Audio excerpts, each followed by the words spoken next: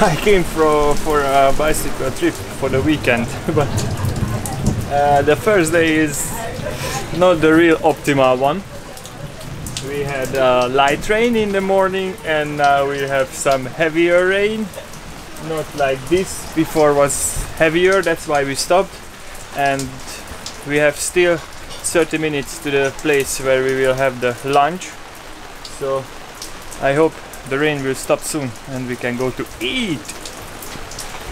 Yeah, this is my beautiful weekend. Wish me luck, please. Send some sunshine.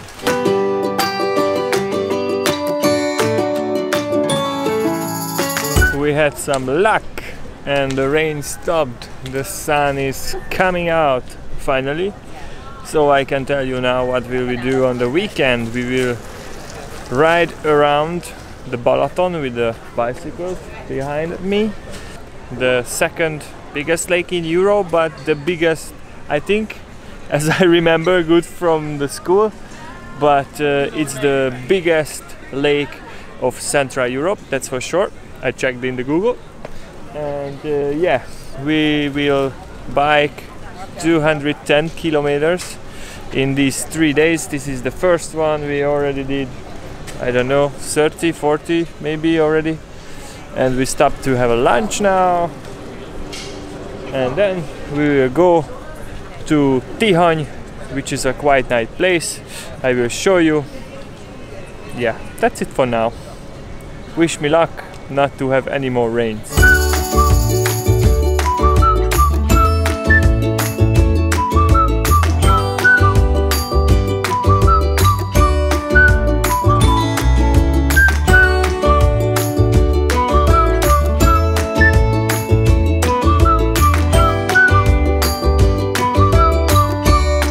So this is the place I mentioned before, which called Tihany, and there is a monastery and a church here, and also a beautiful view, which I will show you.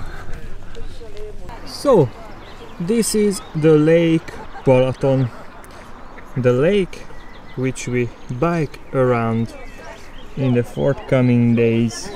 But I'm going now because we lost some time when we stopped because of the heavy rain uh, and we have to reach our final destination for today where we have the hostel or hotel or I don't really know where we will sleep but I am sure we will have a roof over us. That's enough for me